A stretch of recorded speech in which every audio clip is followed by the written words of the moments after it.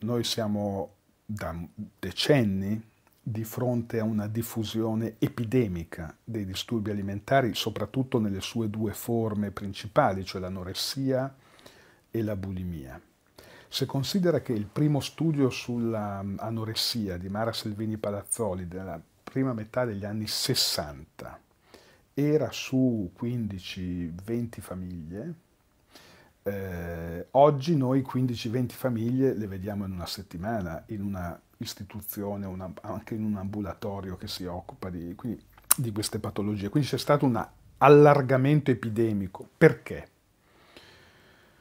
Um, fondamentalmente, per, secondo me, per due ragioni. La prima ragione è perché uno dei miti principali del nostro tempo è il mito dell'immagine del corpo e dunque l'icona del corpo magro si impone come icona dominante e spinge molte giovani a, verso l'anoressia, diciamo così, eh, per assimilarsi a questo corpo, eh, come dire, senza grasso, senza perfetto, autosufficiente. E, e ripeto, è un mito, è, anzi direi una religione del nostro tempo quella del, del corpo come appunto imago autosufficiente. Secondo grande mito è il mito del consumo dell'oggetto. In fondo soggetto bulimico che cosa fa? Mangia tutto, divora tutto.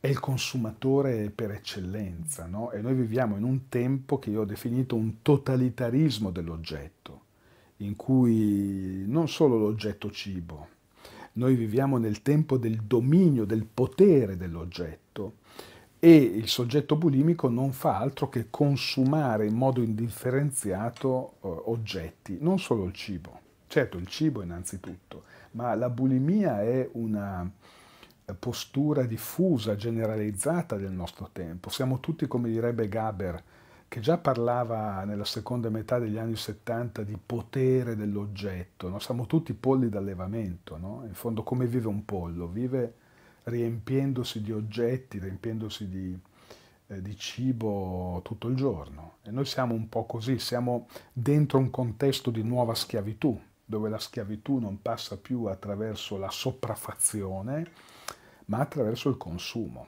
attraverso una dipendenza che ci lega all'oggetto, che può essere l'oggetto tecnologico, l'oggetto bottiglia, l'oggetto droga, l'oggetto cibo, l'oggetto immagine del proprio corpo. Noi siamo in questo tempo, diciamo così, dove il potere è dell'oggetto.